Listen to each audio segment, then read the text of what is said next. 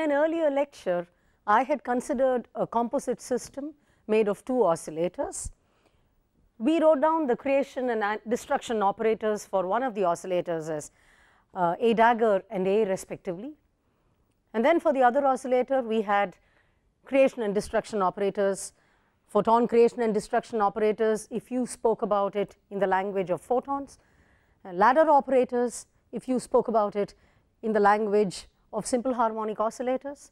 We call them B dagger and B and they satisfied commutation relations. Commutator A A dagger is identity, commutator B B dagger is identity, all other commutators vanish.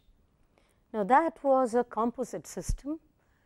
It had two oscillators and we used these operators to provide the angular momentum algebra.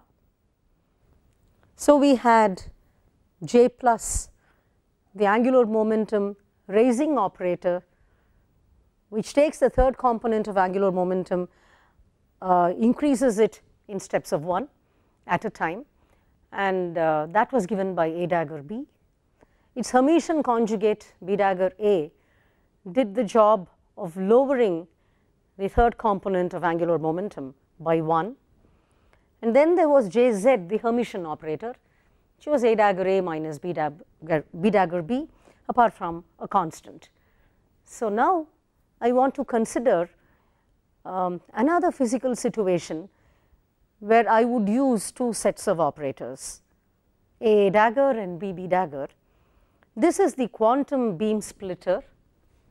So, I have this beam splitter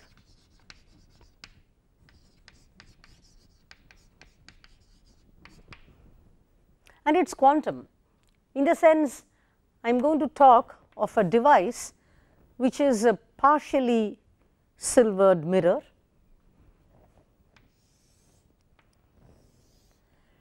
on which photons can strike either through this direction or from this direction.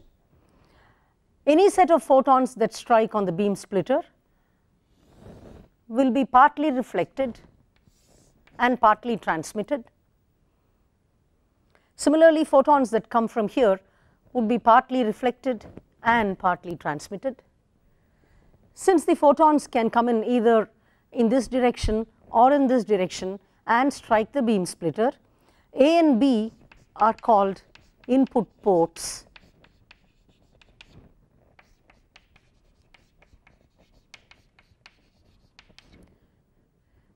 And then for the sake of nomenclature, I would like to call this C and I would like to call this D. And these are output ports.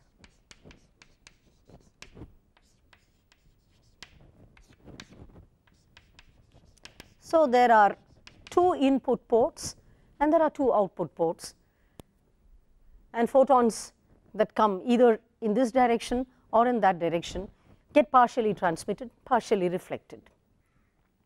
So, that is the picture that we have of the beam splitter. The photon creation and destruction operators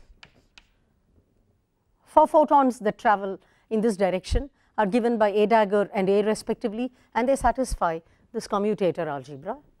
Similarly, we have B and B dagger here. The beam splitter itself does the operation of partly transmitting and partly reflecting the photons. The operator is represented by B, this is the beam splitter operator and B is a unitary operator given in this fashion. Normally, we associate cos theta with the extent of reflection which I call r. So, the extent of partial reflection r is simply denoted by cos theta. Notice that A dagger B minus B dagger A is anti-Hermitian.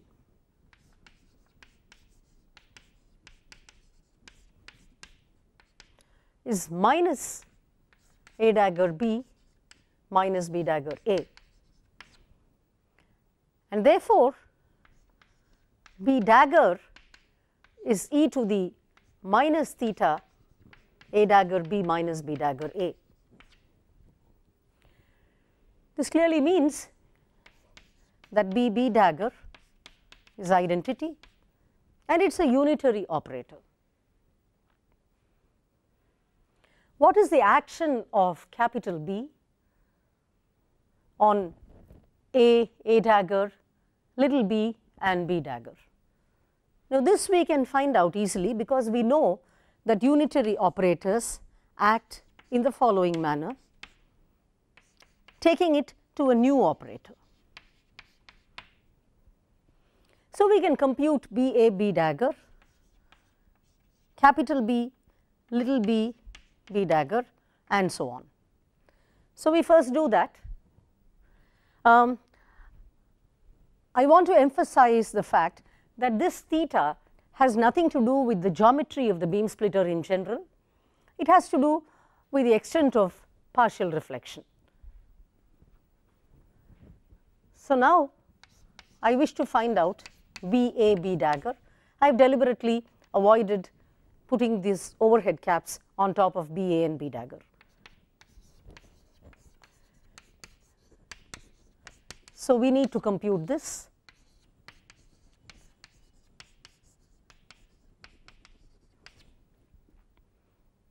Course, I will use the Baker Campbell Hausdorff formula and this would just be A plus commutator of theta A dagger B minus B dagger A with A.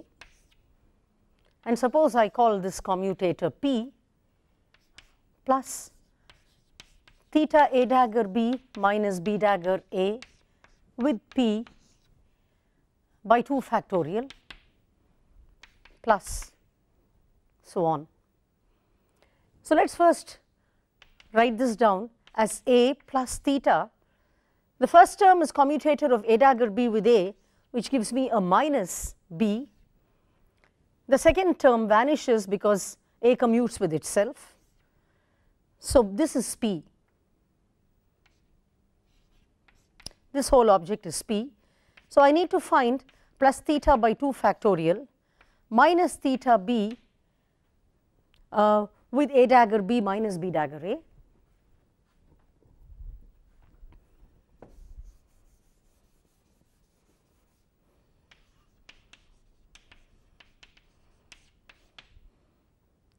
with minus theta b. So, let me write minus b out here and so on. So, this is a minus theta times b plus or minus theta squared by 2 factorial. The first term does not give me anything. I have put minus theta squared there. The second term will give me a 1 and therefore, that multiplies A and so on. Now, we can write out all the terms and it is easy to check that B A B dagger is simply A 1 minus theta squared by 2 factorial plus theta to the power of 4 by 4 factorial plus so on minus B theta minus theta cube by 3 factorial plus the rest of the sine series. So, this is a cos theta minus b sine theta.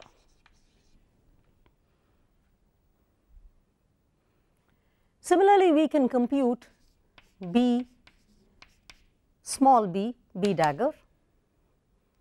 And that object is just b plus theta a dagger b minus b dagger A commutator with B. And if I call this Q, the next term is plus theta by 2 factorial theta squared by 2 factorial commutator of A dagger B minus B dagger A with Q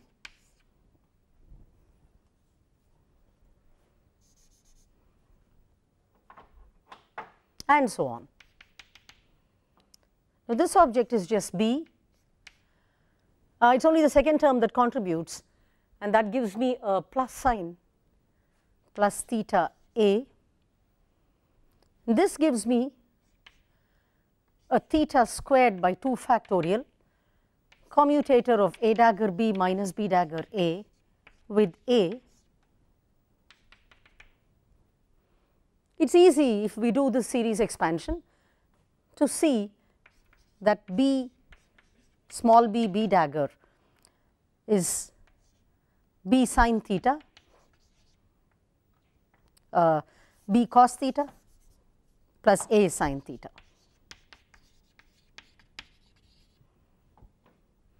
So, this is what we have for the action of the beam splitter. So, let me put that down.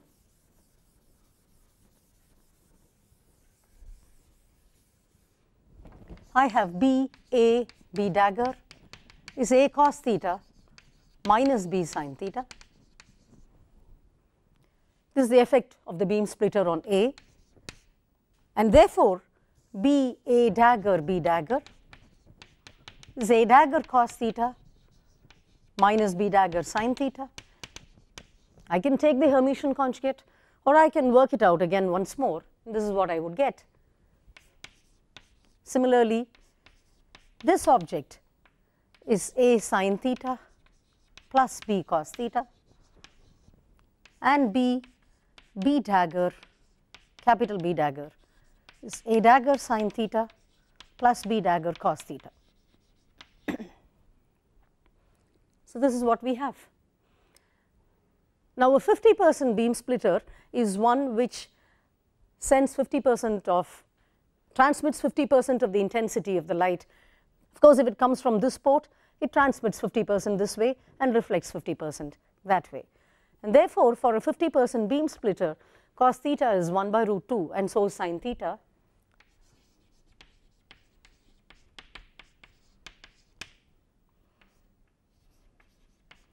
I just have the following a dagger minus b dagger by root 2 and similarly this object is a dagger plus b dagger by root 2. So, these are basic preliminaries that I need in order to see what happens to various photon number states which are put through these input ports. As you can see this is a unitary transformation that is being done on a's and b's, little a's and little b's. The upshot of the whole thing is the following. Suppose in terms of states, I sent 0 photons through the input port A and 0 photons through the input port B. My initial state is simply 0 A direct product 0 B and you will recall that in my notation that is the same as 0 A 0 B and it would also be the same as 0 0. So, these are just various shorthand notations that I would use. But in any case, if the input is 0, 0 photons through the port A and 0 photons through the port B, you do not expect to see photons in the output ports. So, you would expect 0 photons in port C and 0 photons in port D. So, basically 0 A 0 B goes through the beam splitter to give me 0 C 0 D and that is common sense. Now, I will use this fact. Suppose I have 0 photons through the port A and 1 photon through the port B. I can well write this as 0 A, B dagger 0 B but that is the same as B dagger 0 A 0 B. Remember that this is a product state here and B dagger acts only on ket 0 B and leaves 0 A untouched. This is passed through the beam splitter. Now, I can look at this situation from the framework of the output ports C and D in which case I need to write B dagger in terms of C dagger and D dagger. And what are C dagger and D dagger? B A dagger B dagger is A dagger minus B dagger by root 2, I am going to call that C dagger and B B dagger B dagger is A dagger plus B dagger by root 2 and I call that D dagger. Now, it is important to check if indeed we have done a unitary transformation in the sense is the algebra preserved. So, I need to find I need to check the commutator of C with C dagger. C with C dagger is simply half A with A dagger which is 1 and then I have B with B dagger and that object is simply going to give me a commutator 1. So, I have A minus B with A dagger minus B dagger by 2 and that is what I have written there as 1. Similarly, D with D dagger in the commutator is 1 and therefore, I know that I have gone from the algebra A, dagger is 1, B, B dagger is 1 in the commutator, commutator algebra to C, C dagger commutator is 1, D, D dagger commutator is 1. So, I can well look at this state, this state ket 0 A 1 B which I have written in this manner from the point of view of the output ports which means I write B dagger in terms of C dagger and D dagger. Of course, ket 0 A, ket 0 B is identified with ket 0 C, ket 0 D. That is what happens if you send nothing through the beam splitter. I can solve for B dagger and A dagger from these equations and then I can put in the expression for B dagger there. So, I have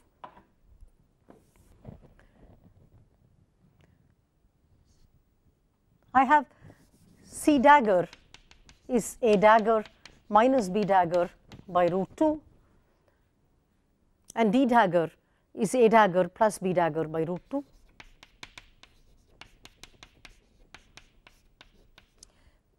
So, I can substitute for B dagger and get my answer here. And therefore, I have this object to be given by d dagger minus c dagger by root, root 2 0 c 0 d. But I know what this does.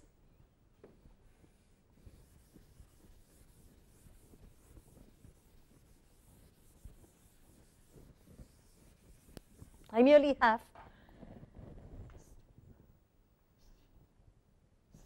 zero A one B the same as d dagger that was my input state.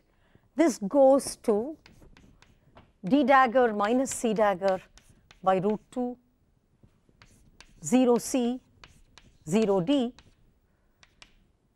but that is 1 by root 2.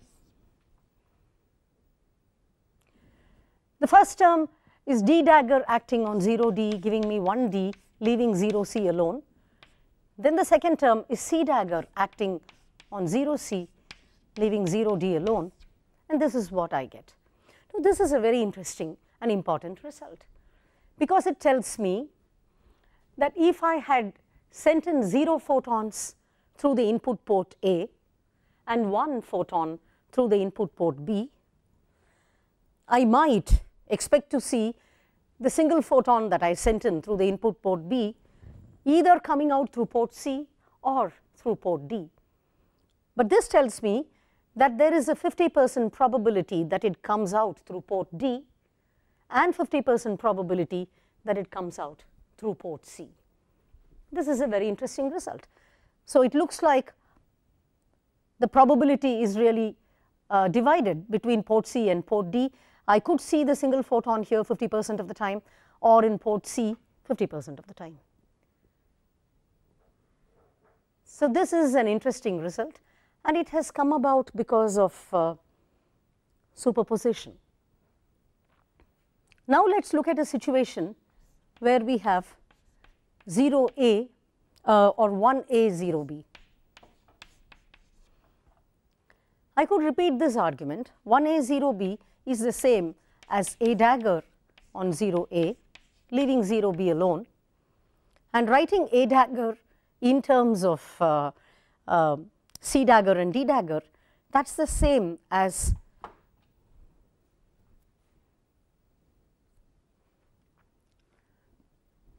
A dagger minus B dagger by root 2 is C dagger and therefore A dagger is C dagger plus D dagger by root 2 acting on 0A 0B. So, this is what happens when it goes through the beam splitter and this is the same as 1 by root 2, uh, but 0A 0B is the same as 0C 0D and therefore, this gives me 1C 0D plus 0C 1D. Once more I have verified that if I had sent a single photon through the input port A and nothing through the input port B, there is a 50 percent probability of seeing the single photon either through the output port C or the output port D.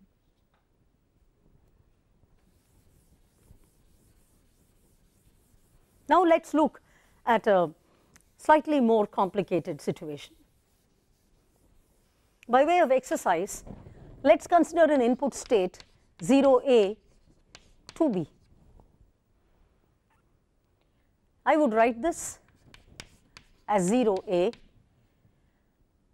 When b dagger acts on 0b, it gives me 1b and when b dagger squared acts on 0b, it gives me root 2 to b and therefore, I will write 0a 2b as ket 0 a 2 b apart from a root 2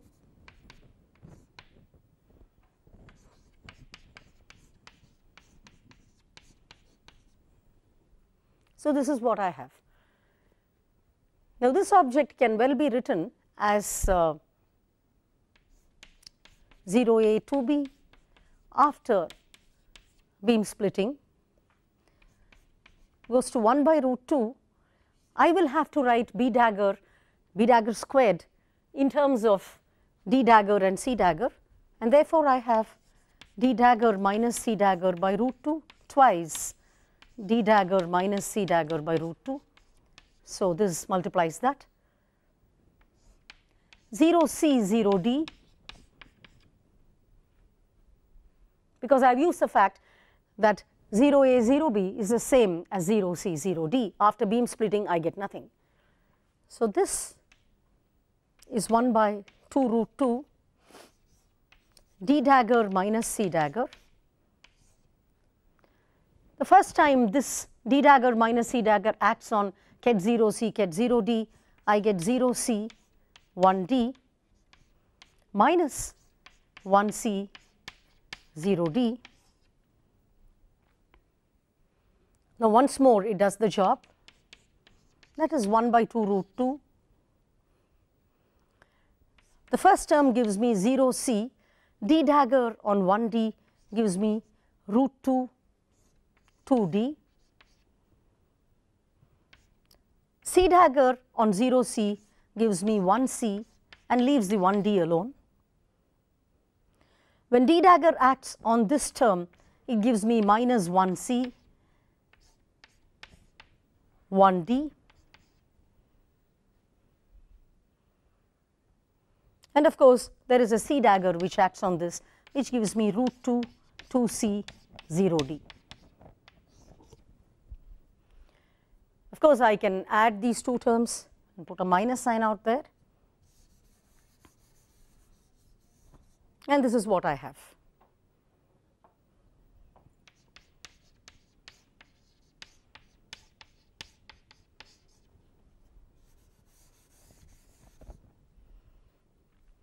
So, what does that tell me? It tells me that if I had sent two photons to the input state, there is a non-zero probability of finding two photons in the output port D or two photons in the output port C or one photon in each of the output ports. The photon number is conserved, it needs to be conserved in any case. Uh, we should also check that the total probability is 1 and that happens really because the first term comes with the coefficient half that is the probability amplitude.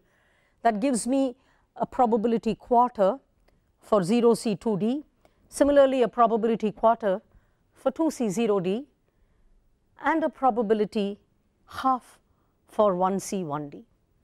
Therefore, the total probability of finding the photons in the output port happens to be 1, which is the way it ought to be. So, this is what I have if I send 2 photons in. It is easy to generalize this to n photons through an input port. This also tells us about the power of the vacuum state, because despite the fact that nothing was sent in through port A, you find that the output uh, ports have a certain distribution of photons. There is a non-zero probability of seeing the photons in both C and in D and that is because of the power of the vacuum ket 0 A. A very interesting and important result now where we simply look at a single photon going through each port. So, let us look at this state 1 A 1 B. Now, as before I write this as A dagger 0 A, B dagger 0 B. So, after passing through the beam splitter, I substitute for A dagger and B dagger in terms of C dagger and D dagger. So, A dagger is simply C dagger plus D dagger by root 2 and B dagger is D dagger minus C dagger by root 2 and this acts on 0 C 0 D and that is a half C dagger plus D dagger. The action of D dagger on 0 C 0 D is 0 C 1 D. The action of C dagger is 1 C 0 D. Now, once more the action of C dagger on the first term is 1 C 1 D and on the second term is minus root 2 2 C 0 D. That is very nice certainly I am conserving the total number of photons that is a 1 plus 1 and this is a 2 plus 0. But now look at this D dagger on this gives me a root 2 0 C 2 D which is fine and then the last term is minus 1 C 1 D. There is a cancellation between these two terms and I just have my final answer as 1 by root 2 0 C 2 D minus 2 C 0 D.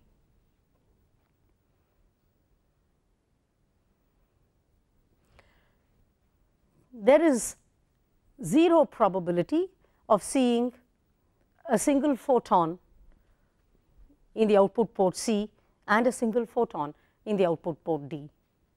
And this is an important statement because at the face of it we might imagine that given two photons as in the earlier example I should be able to get a term which says ket 1 C, ket 1 D in my final state, but such a thing is missing and this is what I have. Both the photons are seen either in the output port D or in the output port C.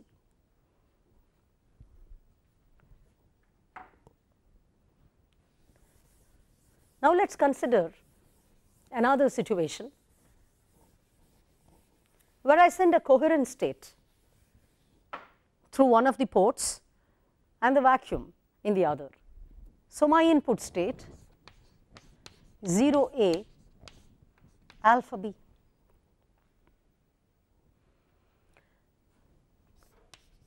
Just by way of recapitulation, alpha is any complex number. In the Fock state representation, that means in terms of the photon number states, this is written as follows.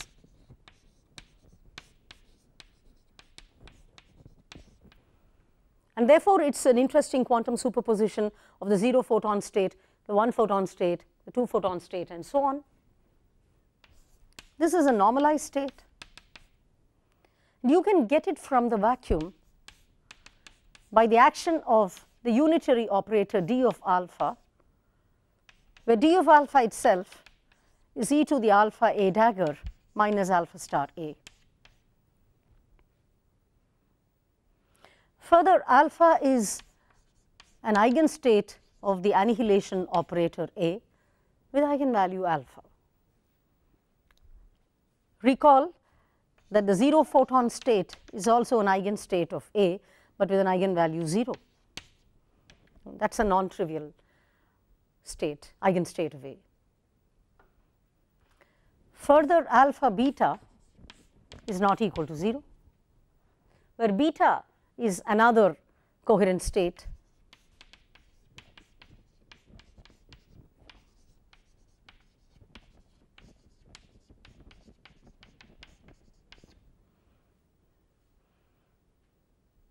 So, this is what we had shown earlier.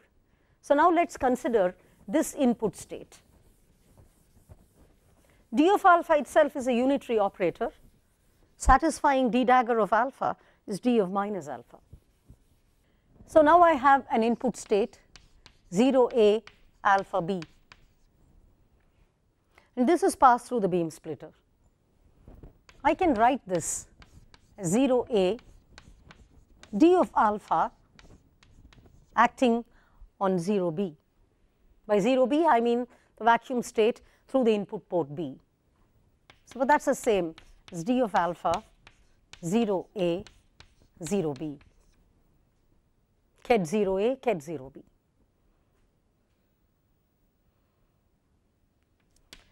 But this is e to the alpha a dagger minus alpha star a ket 0 a ket 0 b. I know what happens to a dagger and a and how they appear if I look at it from the framework of the output ports. I know that a dagger is c dagger plus d dagger by root 2 and a is c plus d by root 2. Now, incidentally this is just using the disentanglement formula. This is e to the minus mod alpha squared by 2 e to the alpha a dagger e to the minus alpha star a acting on 0 a 0 b.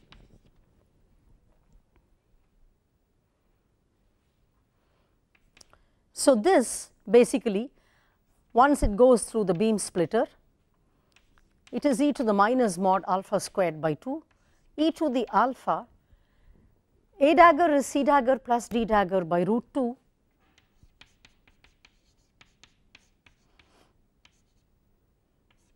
minus alpha star e to the minus alpha star a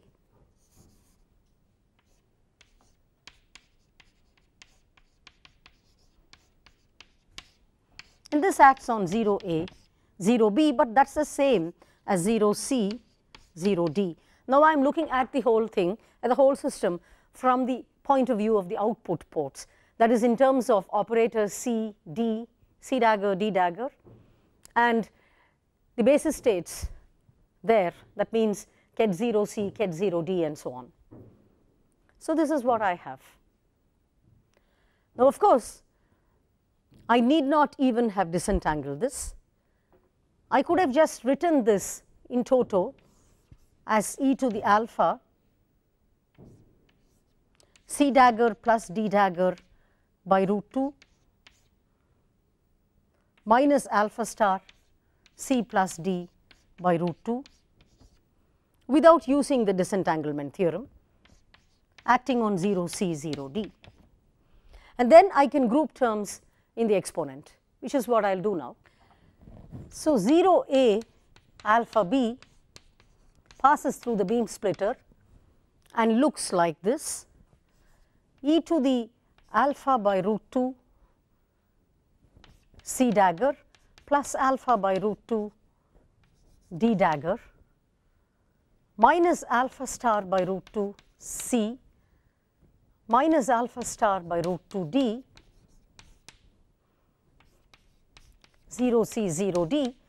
And I can combine terms in the exponent and write this as e to the alpha by root 2 c dagger minus alpha star by root 2 c. That is the first term. Plus alpha by root 2 d dagger minus alpha star by root 2 d. That is the rest of the terms in the exponential acting on 0 c 0 d. This is an interesting structure because this is like d of alpha by root 2 and that is another d of alpha by root 2 except that this corresponds to the operator c dagger and that to the operator d dagger. It is also true that these two objects commute with each other because c and d commute with each other. And therefore, I can now use the disentanglement theorem and I just can write this as e to the alpha by root 2 c dagger minus alpha star by root 2 c e to the alpha by root 2 d dagger minus alpha star by root 2 d acting on 0 c 0 d. Well, that is just going to give me when this object acts on 0 d and this object acts on 0 c that just gives me alpha by root 2 c alpha by root 2 d. In other words, I started with a coherent state going through one input port and ket 0 in the other. The output ports have two coherent states, but instead of the original alpha, it is alpha by root 2 sitting in each of these kets, inside each of these kets. And therefore, the intensity of the coherent state has gone down. Remember that the expectation value of the photon number operator in the state alpha is mod alpha squared. Therefore, now the intensity has gone down. Instead of alpha, I have alpha by root 2 and therefore, in this state the expectation value of A dagger A has come down. It is half the intensity here and half the intensity there. By intensity, I mean the number of photons, the expectation value, the mean photon number. So, this is what I have. So, the power of the vacuum is again well demonstrated because it helps you to produce two clones of the original coherent state. Initially, I had one coherent state, but now I have two of them, each one in one of the output ports with the intensity down, but still the coherence properties are preserved. So, that is one of the uses that I have uh, when I send ket 0 through one of the input ports of the beam splitter and ket alpha through the other input port of the beam splitter. Finally, let us look at the following situation alpha A, beta B, where alpha, beta are complex numbers. Ket alpha is a coherent state, ket beta is another coherent state. So, I have sent in two coherent states, one through each of the input ports. And so, what do I have by way of output? So, this can be written as d of alpha, d of beta 0 A, 0 B.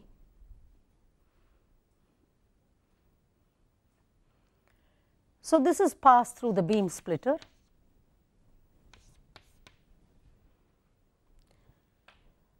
By way of output, I have the following.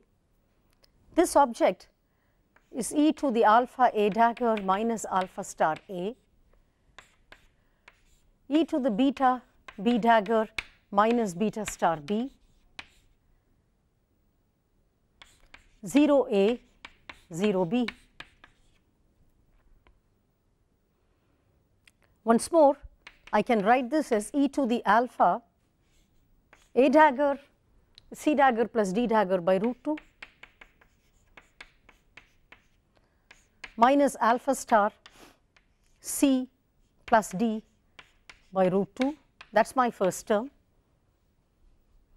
Then I have e to the beta b which is beta d dagger minus c dagger by root 2 minus beta star d minus c by root 2 because b dagger was d dagger minus c dagger by root 2 I have just put that in ket 0 a ket 0 b. Now, it is clear that these two objects do not commute with each other. But I could use the following. I could use the fact, I can now group terms for instance. This is e to the alpha by root 2 c dagger minus alpha star by root 2 c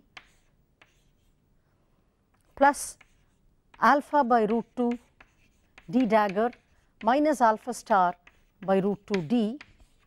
That is what I have in the first exponent. The second exponent has e to the beta by root 2 d dagger minus beta star by root 2 d plus minus beta by root 2 c dagger minus beta star by root 2 c and this acts on 0 a 0 b.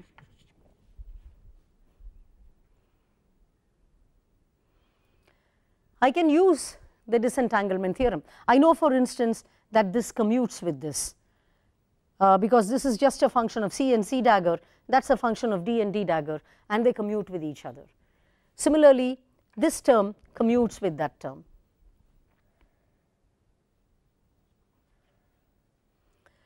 Now, if I did that, I would have the following. Out here, in fact, once I do the disentanglement and I combine things, I should be able to get alpha minus beta by root 2 c dagger minus alpha star minus beta star by root 2 c that will be one term. Then I have alpha plus beta by root 2 d dagger minus alpha star plus beta star by root 2 d that would be the other term. So, already I can see where it is going, but I am going to pick up some phase factors. I use the fact the d of alpha, d of beta is e to the i imaginary part of alpha beta star d of alpha plus beta. So, this is a crucial input because this is e to the alpha a dagger minus alpha star a, e to the beta a dagger minus beta star A. And then that quantity can be written in terms of the right hand side suitably. So, out here first of all I use the disentanglement theorem and this can be written as uh, I initially started with alpha a beta b.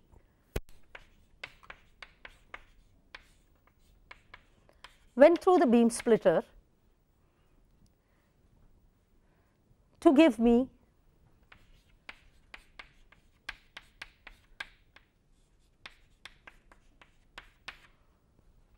times e to the alpha by root 2 d dagger minus alpha star by root 2 d. These two commute with each other. So, I can well split the exponent like this. Similarly, there I have times e to the beta by root 2 d dagger minus beta star by root 2 d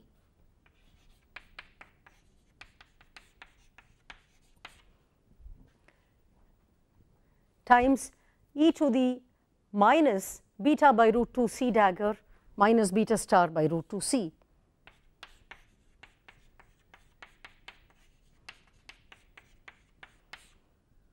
I can well write it in this fashion acting on 0 c 0 d. We can now group terms suitably. For instance, these two quantities can be combined I have an alpha by root 2 d dagger minus alpha star by root 2 d, beta by root 2 d dagger minus beta star by root 2 d. And therefore, using this trick, I can combine them. This object is d of alpha by root 2 and this is d of beta by root 2. Similarly, I can combine these two terms, this commutes through this, through that out here and therefore, I write the following alpha A beta B goes through the beam splitter to give me e to the alpha by root 2 c dagger minus alpha star by root 2 c. E to the minus beta by root 2 c dagger minus beta star by root 2 c. Times I maintain this order. E to the alpha by root 2 d dagger minus alpha star by root 2 d times e to the beta by root 2 d dagger minus beta star by root 2 d. And this acts on 0 c 0 d. I can now combine things and see very easily that this is to be written as d of alpha plus beta by root 2. The first term is alpha minus beta by root 2. Then there is an alpha plus beta by root 2.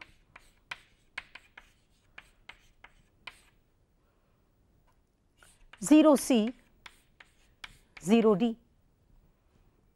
There is a phase out here because when I add the two of them, this is d of alpha, d of d of alpha by root 2, d of beta by root 2 is d of alpha minus beta by root 2 minus sign coming from here times an overall phase which is e to the i imaginary part of alpha beta star. But I pick up exactly e to the minus i imaginary part of alpha beta star from here and so the phase factors those extra phases cancel out and this is what I have. But this is precisely the coherent state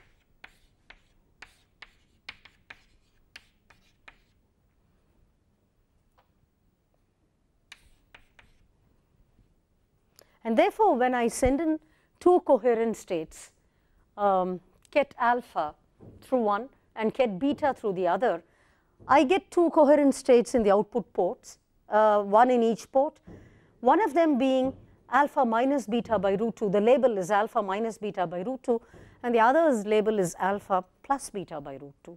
So, once more the coherence property is preserved except that there is a change in the intensity of the state and um, I get precisely this kind of combination uh, which leads to a different intensity compared to the original intensity of the states. So, this is the uh, uh, setup in which a quantum beam splitter is used. One of the main advantages is that you can produce copies of coherent states. Uh, you will recall that if I had uh, the vacuum in one of the input ports and a coherent state in the other, I finally get two coherent states. So, I can produce two copies of a single coherent state. Further, if I started with two coherent states, the output ports also have a coherent state in each of them, except that the intensity is different. Um, these are the ways in which a quantum beam splitter can be used. And this is another example of a system, a physical system, a very relevant system where I play around with two sets of operators A dagger and BB dagger and produce some very interesting results.